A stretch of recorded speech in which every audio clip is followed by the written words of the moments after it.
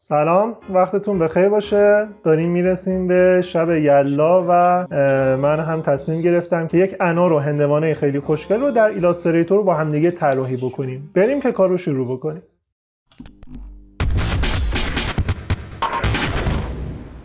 خب در گام اول من میرم سراغ ابزار الیپس. اینجا یک دایره رو رسم می‌کنم با این رنگ و می‌ذارم وسط باشه. البته یه ذره میارمش پایین تر خب حالا می‌خوام این شاخکاش رو رسم بکنم. حالا نمی‌دونم اسمش چیه. میرم سراغ ابزار rectangle tool و همچین چیزی رو رسم می‌کنم و برمیگردم به ابزار selection یه ذره rotate میدم بهش و می‌ذارم اینجا بمونه. خب بعدش ابزار direct selection tool رو انتخاب می‌کنم. اینجا یه کلیک می‌زنم و این رو به این صورت می‌کنم. خب می‌تونه کار رو برام در بیاره این همچین چیزی.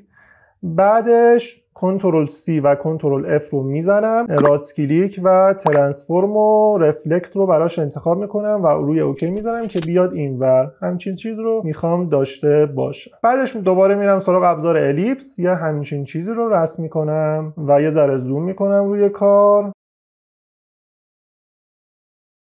این هم میارم می‌ذارم اینجا. یک دو سه سه تاشو می‌گیرم کنترل G می‌زنم. نسبت به این در یک راستا باشه. تقریبا خوبه. فقط این یه ذره میارم پایین تر که کار قشنگتر بشه. تا الان این کار رو انجام داد. این رو اینجا قرار میدم. بعدش این رو انتخاب می‌کنم کنترل C و کنترل F Alt و شیفت رو می‌گیرم. یه ذره کوچیکترش می‌کنم. به این صورت می‌خوایم داخل انار رو با همدیگه رسم بکنیم. هنگامی که این انتخاب هستش I رو از روی کیبورد می‌زنم و این رنگ رو براش انتخاب می‌کنم. می‌بینید که این اومده رو. به همین خاطر روش کلیک می‌کنم. ابزار arrange. ابزار که گزینه arrange و send backward رو می‌زنم که بره پشتش. البته این رو انتخاب می‌کنم خب و یه کپی ازش می‌گیرم با Alt ungroup ش می‌کنم. این رو میارم اینجا دوباره این ستا رو انتخاب می‌کنم کنترل G group بشه و این رو می‌خوام این رنگ بشه و این رو می‌ذارم اینجا به این صورت. اینم یه ذره کوچیکتر می‌کنم. فک می‌کنم OK باشه. حالا می‌خوایم داخل انار رو با همدیگه رسم بکنیم. من از این یک کپی می‌گیرم خب میارمش اینجا I رو می‌زنم این رنگ رو براش انتخاب می‌کنم و بعدش بذار همینجا این کار رو انجام بدم که بهتر باشه. خب از این استفاده می‌کنم و تا اینجا میارم یه همچین چیز رو برای خودم رسم می‌کنم. A رو از روی کیبورد می‌زنم یه ذره گوشاش رو گرد می‌کنم و این رو میارم می‌ذارم اینجا. فکر می‌کنم OK باشه. کنترل C کنترل F راست کلیک transform و reflect. میاد اینور OK و این رو اینجا قرار میدم. البته بزرگ هستن. این رو یه ذره کوچیکتر می‌کنم. به این صورت این رو اینجا می‌ذارم. دوباره اینو پاک می‌کنم. یه ذره بزرگترش می‌کنم. OK دیگه کنترل C کنترل F transform و reflect. OK. دوباره از این کنترل C کنترل F I و این رنگ رو انتخاب می‌کنم و این بار به این صورت سعی می‌کنم یه چیزی رو داشته باشه خوبه؟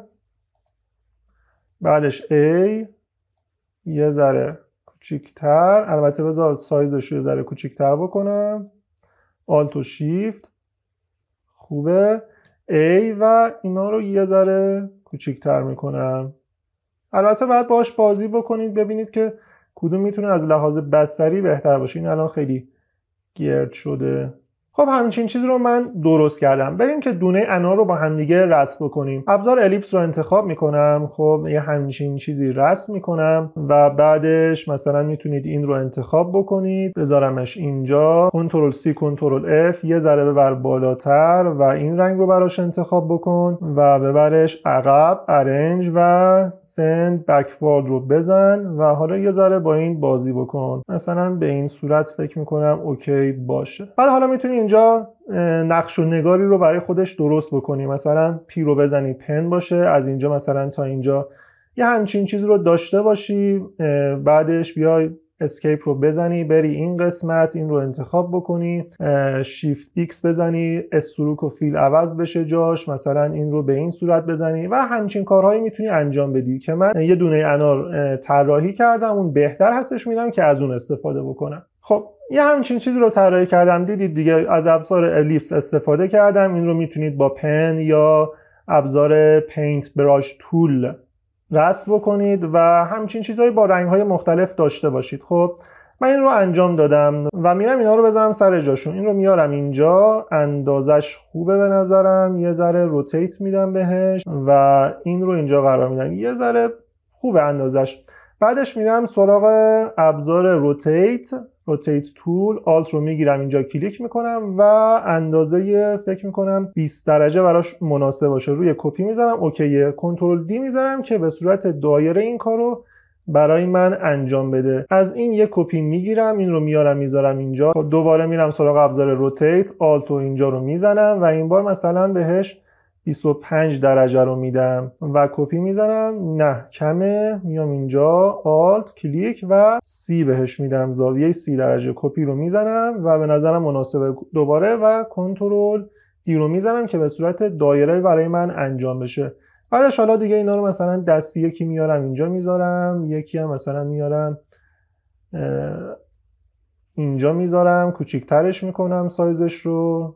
فکر می‌کنم مناسب باشه. خب بعدش می‌خوام تمامی این دونه های انا رو گروه بکنم. چیکار می‌کنم؟ میام این رو انتخاب می‌کنم. اول بعدش این رو انتخاب می‌کنم بعدش این بعدش این بعدش این این و این شاخکاش خب و کنترل جی می‌زنم. الان همه اینها گروه شدن بجز چیزی که اینجا موند. خب حالا کنترل ای می‌زنم. اینا رو از ازش کم می‌کنم. این هم ازش کم می‌کنم و فقط الان دونه های انوار موند و کنترل جی رو می‌زنم. الان همه اینها رو به صورت گروه دارم. اون توجه بکن اینا الان به صورت گروه شد و اینها رو میرم آن گروپ می‌کنم گروهش کردم و حالا ungroup ش می‌کنم.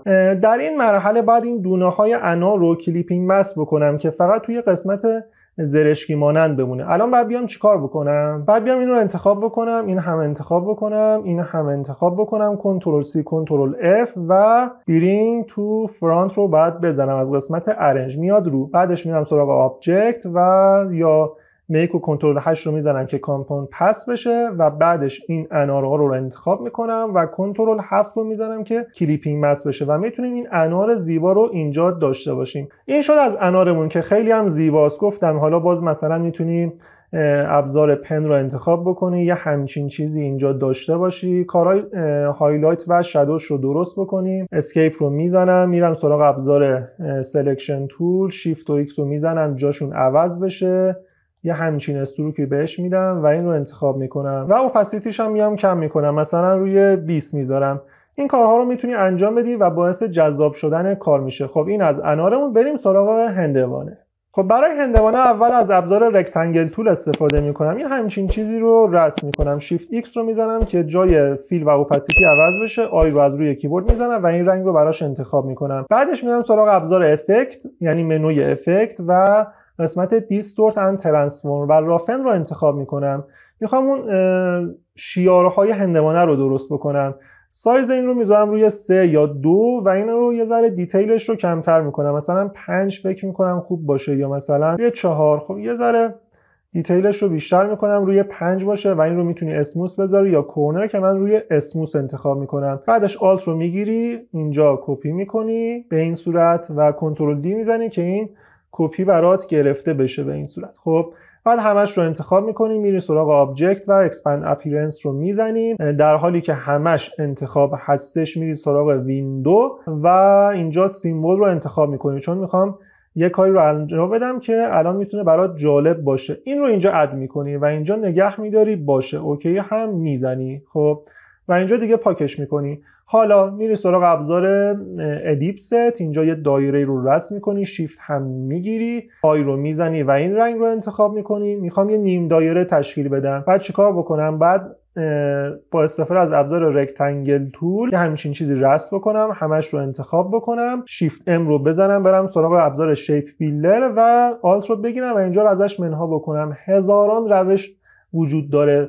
که من از این روش ها دارم کار می‌کنم. مثلا می‌تونی به چند صورت دیگه تو یک نیم دایره ای رو رسم بکنی که حالا اونا رو می‌تونی خودت هم انجام بدی. ولی من از این روش ها دارم استفاده می‌کنم توی این ویدیو. خب یه ذره کوچکترش می‌کنم به این صورت و بعدش میرم سراغ ابزار مهنوی افکت و قسمت 3D و 3D کلاسیک رو ریولو رو انتخاب می‌کنم به این صورت. فرامش رو می‌ذارم تو روی رایت و قسمت surface ش هم روی این گزینه. بعد map art رو می‌زنم از این قسمت symbol ها میرم چیزی که الان درست کردم رو انتخاب می‌کنم scale to fit رو می‌زنم OK هم می‌کنم و اینجا هم OK و می‌بینی که همچین چیزی رو هم تونستیم درست بکنیم. بعدش این شکل رو انتخاب می‌کنم میرم سراغ object و expand appearance رو می‌زنم. حالا مثلا می‌تونی rotate بهش بدی و یه ذره کوچیکترش بکنیم که مثلا به صورت بیزی بشه. اینم از هندوانمون این از انارمون که به نظرم خیلی قشنگ شد و این هم از هندوانمون. امیدوارم از این ویدیو خوشت اومده. پیشا پیشم یلاتون مبارک باشه.